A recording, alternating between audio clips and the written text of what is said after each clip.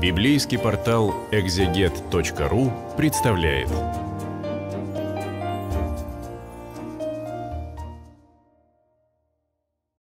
Пятнадцатая глава первой книги «Царей» или «Царств» в старых переводах. Я для библейского портала «Экзегет» читаю ее в своем переводе и немного комментирую. Итак, эм, у нас с вами только что рассказано было о войне с филистимлянами очередной, в которой победили на сей раз израильтяне. Ну, обычно о том, как они проиграли, Библия просто не рассказывает, хотя такие эпизоды тоже бывали. Э, и из этого нужно сделать какие-то дальнейшие выводы. Но, впрочем, не только из этого. Предыдущая 14 глава закончилась таким Э, общим обзорным замечанием, что Саул все время воевал с окрестными народами, и, в общем, у него это неплохо получалось. Но 14 мы говорили об этом, вся посвящена, собственно, вопросу, чья воля исполняется. Вот критический момент, война с э, филистимлянами, и выясняется, что, в общем, э, Саулу Бог не очень нужен.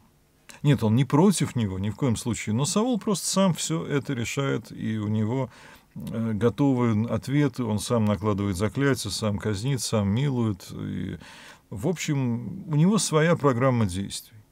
Это явно расходится с теми представлениями о царской власти, которые мы видели в предыдущих главах, что э, царь — это наместник Бога над его народом. Ну и э, в 15 главе мы как раз этот скрытый, тлеющий конфликт, 14 он уже обозначен, но только он не выявлен, э, не выведен наружу. Скрытый, тлеющий конфликт в 15 главе уже проговаривается, обсуждается в полный голос. И, конечно, человек, который э, этот конфликт выводит наружу, это Самуил, пророк, помазавший Саула и возвещающий Израилю волю Божью. Самуил сказал Саулу, это меня посылал Господь помазать себя в цари над его народом, над Израилем. И теперь прислушайся к словам Господним. Вот что говорит Господь воинств. Да, то есть вообще ты не забывай, как ты стал царем. Ты не завоевал э, какую-то землю, чтобы ее себе подчинить, не родился сыном царя, чтобы тебе отец передал царство. Ты был избран Богом, значит. Пожалуйста, исполняй его волю. Э, «Я покараю» — это слова Господа. «Я покараю Амалека за то, что сделал он Израилю, встал у него на пути, когда тот шел из Египта». Но это в книге «Исход» в 17 главе описано, что амаликитяне были враждебным народом, они не пускали израильтян, ну вот э, теперь они должны получить за это. Вообще, конечно, нам странно видеть такого мстительного Бога, но, возможно, Возможно, это отголосок вот э, тех же самых представлений, которые есть в книге Иисуса Новина, когда священная война, но это такой способ исполнить волю Божью. Наверное, других способов тогда еще люди особенно и не знали. Ступай теперь, разгроми Амалека, уничтожь, предав заклятию все, что у него есть. Не жалей никого, предая смерти мужчин, женщин, детей, младенцев, быков и овец, верблюдов и ослов. Мне неприятно читать эти строки.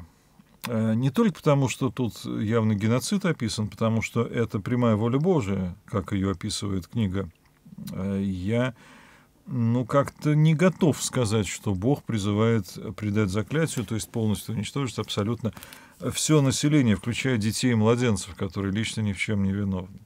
Я не знаю, к этому относиться. Правда, не знаю. Я для себя предлагаю объяснение, ну, не один я, конечно, что, может быть, э, вот в те времена этот голос Божий воспринимался как и вообще мы его слышим не напрямую, а воспринимался вот через какой-то фильтр.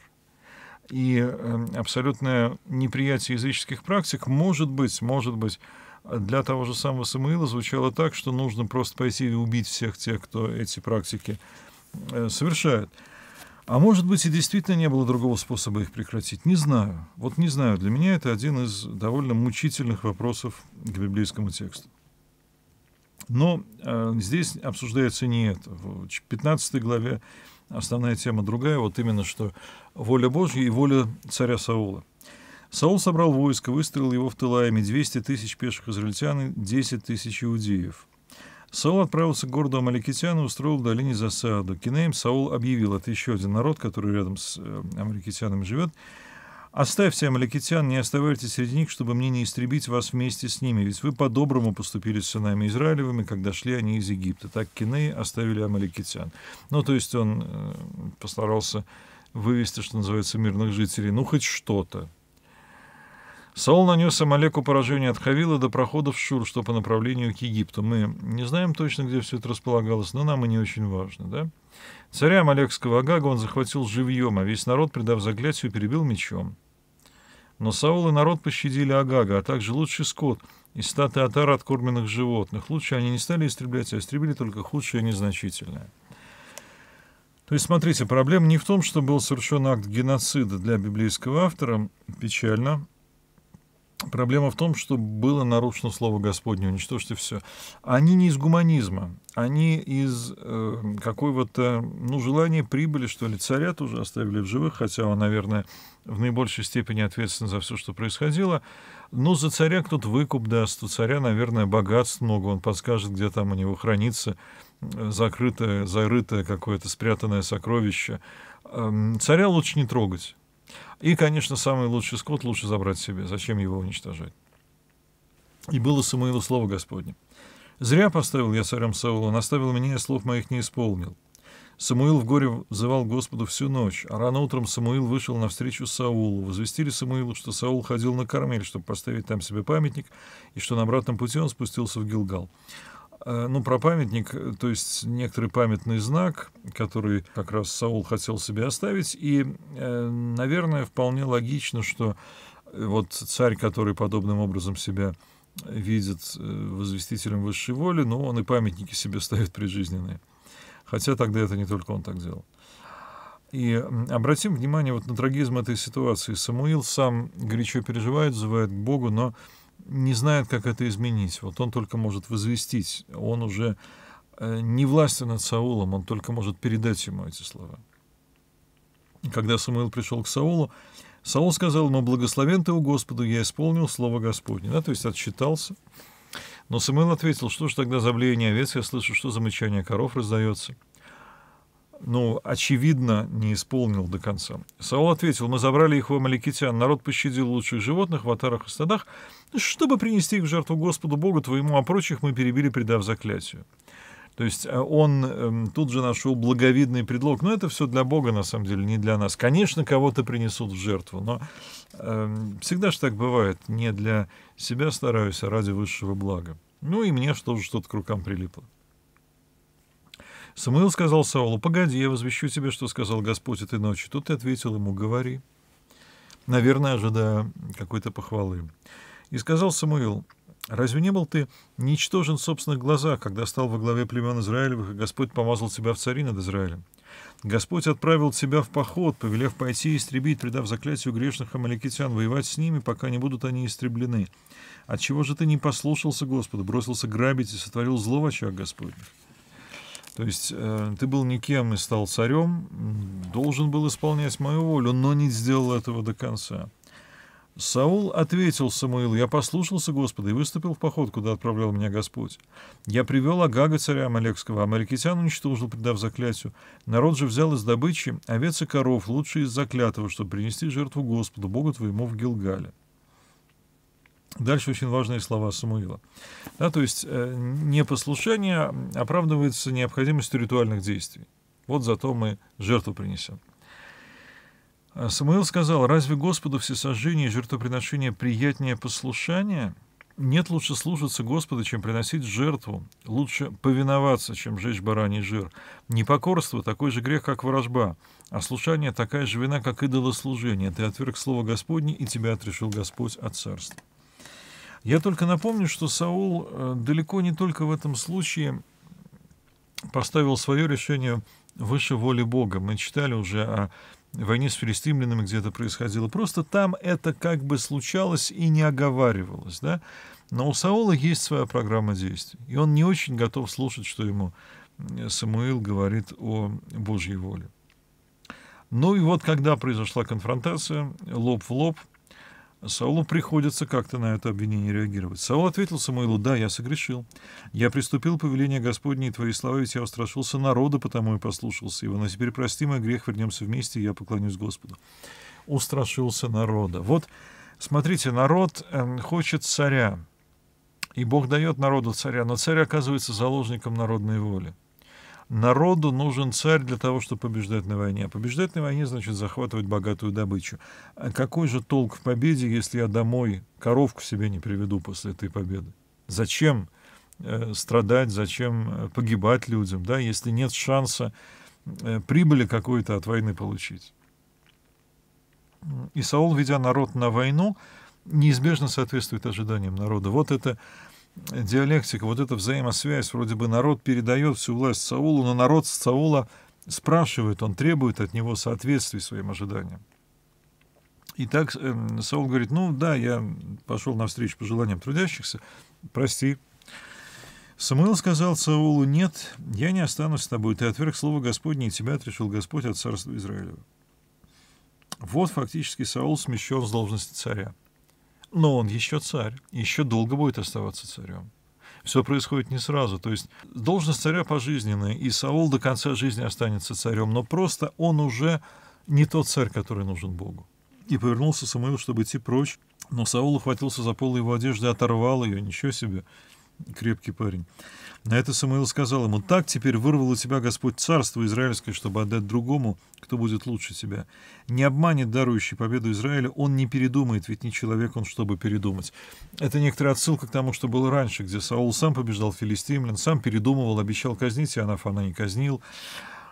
И, э, в общем, ну, э, Саул оказывается вот в положении человека, которому очень ясно объясняют, что он не Бог, и он ну, присвоил себе некоторые полномочия, он принимает на себя дерзость решать, а это значит, что Бог его оставляет. Это не значит, что Бог его немедленно накажет, убьет, что-то еще. Просто, ну хорошо, ты хочешь без Бога все это делать? Да, пожалуйста, попробуй, посмотрим, что выйдет. Саул ответил, я согрешил, он но почти меня, прошу перед старейшинами народа и всем Израилем, вернемся вместе, и я поклонюсь Господу, Богу моему. Тогда Самуил вернулся вместе с Саулом, и Саул поклонился Господу. То есть не будем устраивать скандала.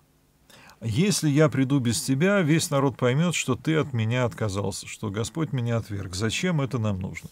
Сделаем вид, что все хорошо. Ладно, Самуил на это идет. То есть есть какие-то внутренние отношения человека с Богом. Вот э, трагедия правителя Саула — это очень трагичный правитель. Есть его внутренние отношения с Богом, которые вот у него в сердце, которые наедине, может быть, с его э, вот, духовным наставником Самуилом. И есть внешняя картинка, где все хорошо, да, на телевидении показывают парадную сторону всегда. Самуил сказал, приведите мне Агага, царя Амалекского. Ну, хоть царя убьем, что ли, да? Вот когда все это произошло.